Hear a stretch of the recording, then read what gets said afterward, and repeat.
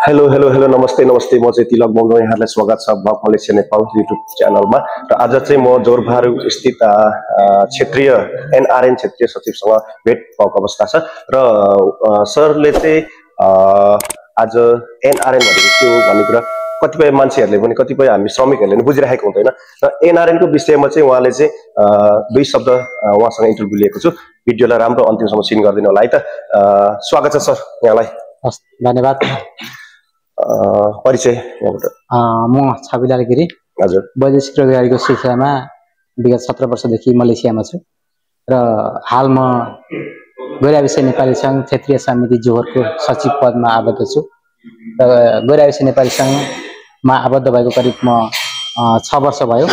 र यो कार्यकालमा तेइस पच्चिसको कार्यकालमा म क्षेत्रीय समितिको सचिव पदमा सर अब विषयवस्तु चाहिँ म कहाँबाट सुरु गर्छु भने एनआरएन भनेको के हो र एनआरएनले के के गर्छ हामी श्रमिकहरूलाई भन्ने कुरा चाहिँ सरले पुऱ्याइदिनु पर्यो। एनआरएन नै भनेको एउटा संस्था हो सामाजिक संस्था हो जो विदेशमा भएका नेपाली श्रमिकहरूको हकितका बारेमा आवाज उठाउने हकितका बारेमा बोल्ने र नेपाली श्रमिकहरूको सेवामा लाग्ने एक संस्था हो।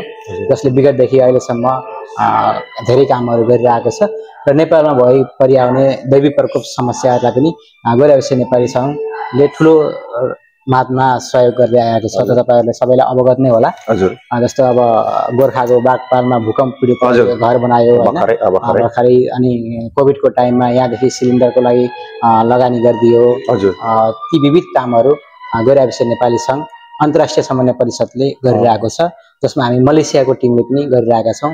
क्षेत्रीय टिमले पनि मलेसियाको राष्ट्रिय कमिटीसँग समन्वय गरेर काम गरिरहेको छ। तपाईँले श्रमिकको बारेमा के गर्छ कसो गर्छ भन्नुभयो?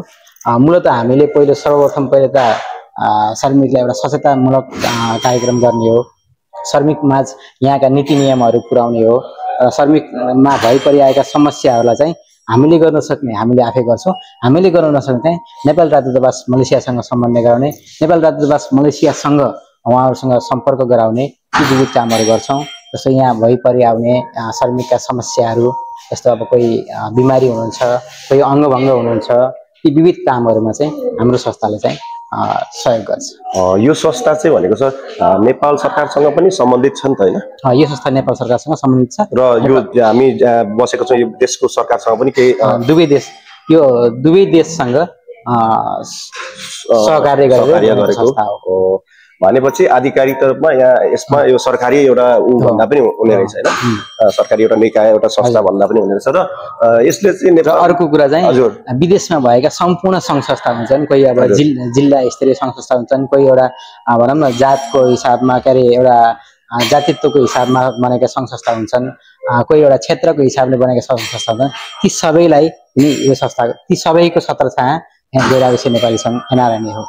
ती सबैलाई पनि यसले चाहिँ साथ सहयोग लिएर उनीहरूलाई पनि आफूले साथमा लिने र आफूले पनि उनीहरूलाई साथ सहयोग गर्दै अगाडि बढ्ने संस्था। हो सर यो यसमा चाहिँ मलाई धेरै अगाडिदेखि नै जिज्ञासा थियो होइन। यो एनआरएन भने चाहिँ यसले चाहिँ नेपालीहरू यहाँ झै झगडा गरेको अथवा बिजोग भएको यस्तो। केसहरू यसले हेर्छ कि? गरिरहेछ गरिरहेछ। त्यसले यो केस देनाको हुन्छ। विगत विगतदेखि अहिलेसम्म आफू सक्दो सहयोग गर्दै आएको छ। हामी पनि यो चौथो अधिवेशन भएको करिब अहिले हामी छैटौँ महिनामा छौँ। छैटौँ महिनामा पनि हामी करिब बिस बाइसवटा केसहरू चाहिँ हामीले क्षेत्रीय समितिले सक्दाएका छौँ र हाम्रो अफिस पनि यही छ लार्किङको बोम्बाको अगाडि। र हाम्रो फेसबुक पेज छ गएर एनआरएनए। अ, त्यहाँ तपाईँले सर्च गरेर नि सक्नुहुन्छ। हेर्न सक्नुहुन्छ। हामीले गरेका कार्यहरू हामीले त्यहाँ अपडेट गरेका हुन्छौँ। त्यहाँदेखि पनि तपाईँले थाहा पाउन सक्नुहुनेछ। र मलेसियामा भइपरि आउने समस्याहरू हामीसँग अपडेट गराउन पनि तपाईँले सक्नुहुन्छ। ओके सर अ, यो चाहिँ अब छोटकरीमा आज हजुरको पनि समय अब धेरै बिजी हुनुहुन्छ होला होइन? अब कस्तो भने थोरै समय सरलाई मैले भेटेँ र अब चाहिँ यो एनआरएनको बारेमा चाहिँ मैले सम्पूर्ण डिटेल्समा चाहिँ कुनै समय अर्को नेक्स्ट भिडियो बनाउन सरको अब अमूल्य समयलाई मैले खर्च गरेँ। र सर अब थोरै एउटा कुरा जस्तो हामीले चाहिँ हामी यो नागरिक हामी त पब्लिक भनौँ न हामी। जनता भनौँ न। जस्तो हामीले चाहिँ यसमा के कसरी चाहिँ जोडिन सकिन्छ त? यसमा जोडिनको लागि एउटा पञ्जीकृत सदस्यको आवेदन हुन्छ। त्यो चाहिँ प्रत्येक दुई दुई वर्षमा खुल्ने गर्छ जस्तो अधिवेशनको हामी करिब दुई तिन महिना अगाडिदेखि त्यो एउटा सिस्टम खुल्या हुन्छ। त्यति बेला हामी चाहिँ गैर व्यवसाय नेपाली सङ्घको मेम्बर बन्न पाइन्छ। मेम्बर बन्नको चाहिँ एक सय असी दिनभन्दा धेरै चाहिँ तपाईँ यो देशमा बसेको हुनुपर्छ। तपाईँले नेपाल छोडेको। एक सय असी दिनभन्दा धेरै हुनुपर्ने हुन्छ। त्यसको लागि चाहिँ यहीँनिर एउटा प्रत्येक दुई दुई वर्षमा पञ्जीकृत सदस्य बन्ने एउटा सिस्टम खुलेको हुन्छ त्यति बेला बन्न पाइन्छ। र यसमा चाहिँ कुनै पनि राजनीति हुँदैन यो गैर राजनीतिक एउटा संस्था हो। यसमा चाहिँ कुनै पनि राजनीतिको दबाब यताउता केही पनि हुँदैन। अब भनेपछि अब जस्तो मैले चाहिँ सदस्य बन्नु पर्यो भने के के गर्नु पर्यो प्रोसेसिङ सर अब त्यो प्रोसेसिङको लागि चाहिँ त्यो मोबाइल अपडेटमा एनआरएनए स्मार्ट हुन्छ। एनआरएनए स्मार्ट डाउनलोड गरिसकेपछि सबै कुरा त्यहाँ जे सिस्टम जे जे माग्छ त्यो अपडेट गरेर जाने हो। त्यसको त्यो मेम्बर बन्नको लागि चाहिँ तिस रिङ्गेट मलेसियाको हकमा। अन्य देशमा के छ मलाई थाहा छैन। मलेसियाको हकमा चाहिँ तिस रिङ्गेट मेम्बर बन्नको लागि लाग्छ। एनआरएन सदस्य बन्नेपछि चाहिँ हामीले के के त्यसभित्र चाहिँ के के सुविधा अथवा के? सुविधा भन्दा पनि यो संस्थामा आबद्ध भइसकेपछि अरू जो पीडितहरू हुनुहुन्छ अन्य जो विदेशमा अलपत्र पर्नु भएको छ अन्य जो यसले चाहिँ सेवा गर्ने हो। सेवा गर्ने हो। यहाँबाट केही लिने होइन कि। हामीले त सेवा गर्ने जस्ट हामी चाहिँ हेल्प गर्ने अरूलाई हेल्प गर्ने हाम्रो दाजुभाइहरू कतिपयहरू अब समस्यामा हुनुहुन्छ। जस्तो कोभिडको टाइममा कतिले खानै पाउनु नपाउने अवस्था भयो। हामीले विभिन्न ठाउँमा हाम्रो रासन पानीहरू हामीले सप्लाई गऱ्यौँ होस्टेल होस्टेल पुग्यौँ कोही हस्पिटलमा पुग्यौँ। कसैलाई आर्थिक सहयोग गर्यो कसैलाई भौतिक सहयोग गर्यो त्यही नै हो।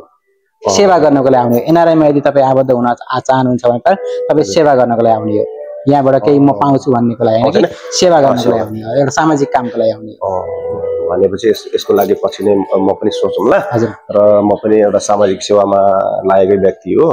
मैले पनि गाउँमा सकि नसके छोटो मिठो अब ब्याकग्राउन्डमा मैले पनि गरेको छु मा- सामाजिक सेवाहरू। र ठिकै छ अब सर अब हजुरको अमूल्य समय दिनुभयो। मेरो यो यो प्रसारण चाहिँ अब ब्लग मलेसिया नेपाल युट्युब च्यानलमा आउनेछ है सर। हजुरलाई मैले यसमा सब्सक्राइब गराइदिन्छु। ओके अन्तमा म जोरबारू जो मलेसियामा हुनुहुन्छ म जोर म जोरको क्षेत्रीय समितिको सचिव भएको कारणले म मेरो बारेमा मेरो सम्पर्क नम्बर र मेरो हाम्रो अध्यक्ष क्षेत्रीय समितिको अध्यक्षको नम्बर पनि दिन चाहन्छु। हाम्रो अध्यक्ष हुनुहुन्छ वेदना श्रेष्ठ हुनुहुन्छ। उहाँको नम्बर छ जिरो दस दुई सय छत्तिस पाँच आठ आठ सात। उहाँ अध्यक्षको नम्बर हो यो। र मेरो नम्बर छ जिरो एघार तेत्तिस चौहत्तर छ्यासठी एकानब्बे। जिरो एघार three three seven four six six nine one. यो हामी हाम्रो नम्बर हो। यदि जोहोरमा त्यस्तो कहीँ परिआएको खण्डमा कुनै पनि श्रमिक समस्यामा परेको खण्डमा हामीलाई यहाँहरूले सम्पर्क गर्न सक्नुहुन्छ र हामीले सक्ने सहयोग यहाँहरूलाई हामीले यहाँहरू मार्फत हामीले चाहिँ त्यो त्यो पीडित व्यक्तिलाई हामी अनिवार्य गर्नेछौँ। धन्यवाद सर। हजुरको समय अमूल्य समय दिनुभयो र अर्कोचोटि म धेरै समय लिएर नै फोन गरेर राम्रो कन्ट्याक्ट गरेर म आउनेछु र अफिसमा पनि आउने कोसिस गर्छु एनआरएन अफिसमा। र हस् हजुरको अमूल्य समय। दिनुभएको है त ओके थ्याङ्क यू सर